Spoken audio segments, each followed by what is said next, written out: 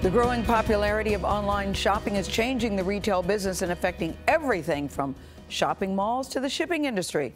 It also means that items are returned in greater numbers than ever before. This morning, we're taking a close look at where do those returns go after you send them back. Janet Shamlian is in Houston, Texas to show us why, if you return too much, you could get blacklisted. Janet, good morning.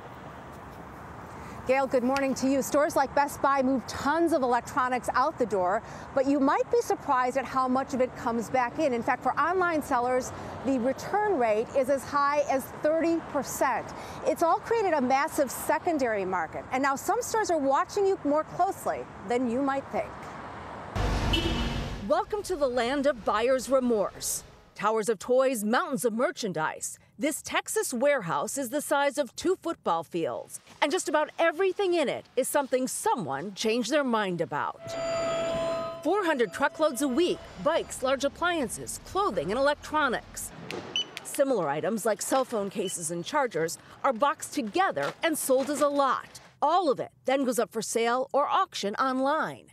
Sites like liquidation.com and secondipity.com. Every box we open or every pallet we open, you never know what's going to be in it. Ryan Johnson of Liquidity Services, a major player in the almost $400 billion business of flipping returns, like these rows of iPads being wiped of personal information and readied for resale. Why don't the retailers resell it themselves? A lot of it is box damage. And so if you go in and you want to pay full price at a retailer, you want it in pristine condition and handling returns themselves cuts into a store's profits. Free shipping and liberal return policies have made it easy to get a refund for almost anything. 11% of all purchases are returned.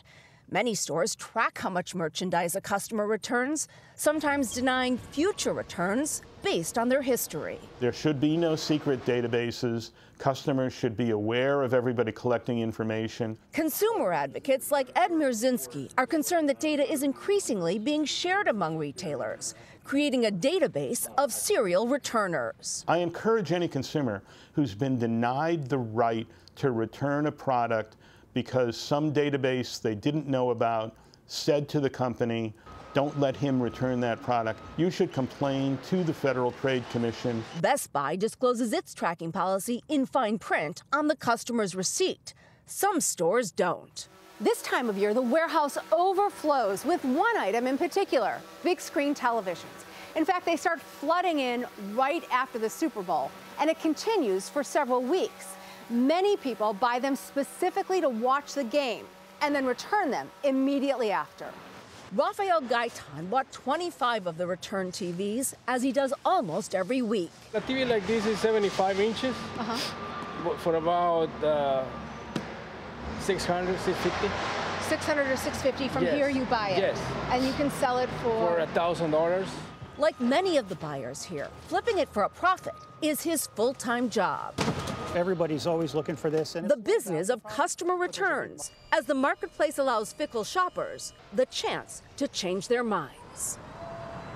So how do you know if you've returned too much? Well, short of buying 10 pair of shoes and returning nine, you probably won't until you go to take something back and that return is refused at the store. The so-called wardrobing of items, like you saw with the TVs, buying it, using it, taking it back, is a growing problem for the industry. Those items are resold, but it's just pennies on the dollar.